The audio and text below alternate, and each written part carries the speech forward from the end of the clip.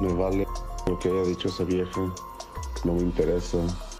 Chiquis Rivera últimamente se ha visto envuelta en polémica y siendo señalada por algunos, pues Jorge Cueva, quien es mejor conocido como Mr. Tempo, reaccionó a una entrevista que le hicieron a la hija de Jenny. Se dijo tantas cosas, me quisieron tachar de, de infiel y es cuando dije no. Además, Mr. Tempo sigue expresando que lo que pasó entre ellos fue algo normal, no fue nada del otro mundo, por eso no se preocupa por nada, se siente tranquilo y no hubo nada malo, él nunca tuvo una mala intención hacia ella. Y es importante realmente darnos un tiempo para reflexionar, para sanar.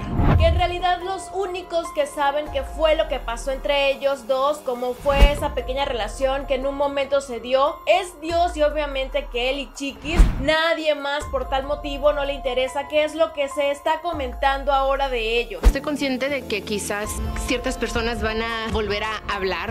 Mr. Tempo dice ser un caballero y los hombres no hablan de las mujeres ni dan su tiempo a escuchar rumores o chismes, pero algo que sí tiene son pruebas de las cosas que ocurrirían mientras estaba con Chiquis. Jorge dice que tiene mensajes y fotos de esa relación. Un caballero y no voy a decir, y tengo pruebas. Y espera que Chiquis no se le haya ocurrido decir cosas que no fueron ciertas sobre él, que no haya creado una historia de algo que no ocurriría, porque eso sí no le gustaría a Mr. Tempo, ya que sus intenciones hacia Chiquis fueron buenas. Ojalá por el bien mental de ella no haya dicho mentira.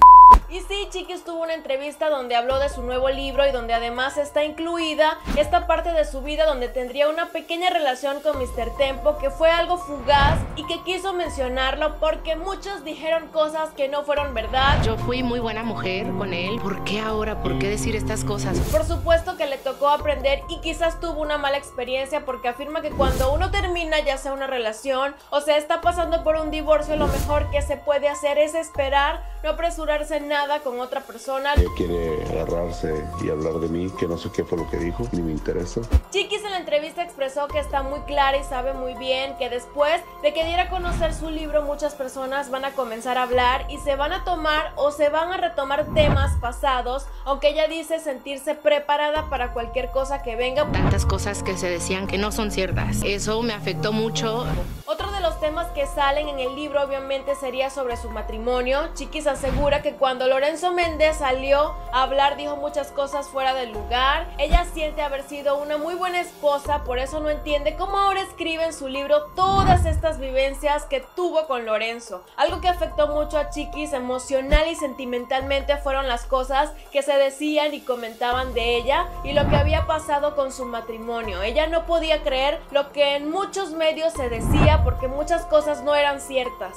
Una de las partes del libro de Chiquis dice de la siguiente manera. El propósito de este libro es para mostrarles que a pesar de todo lo vivido, sigo aquí con la frente en alto, trabajando, luchando por lo mío y aprendiendo de mis errores y de las lecciones de la vida. Y al finalizar esta frase expresa, el querer es poder, eso es lo que nos hace invencible. Así es como van las cosas con Chiquis Rivera, donde está nuevamente siendo señalada debido a comentarios que ha hecho y con lo publicado en su libro. Bueno, esto ha sido todo por Si te gustó nuestro video, dale like, suscríbete al canal y síguenos en Facebook. Esto fue Famous Close Up. Nos vemos.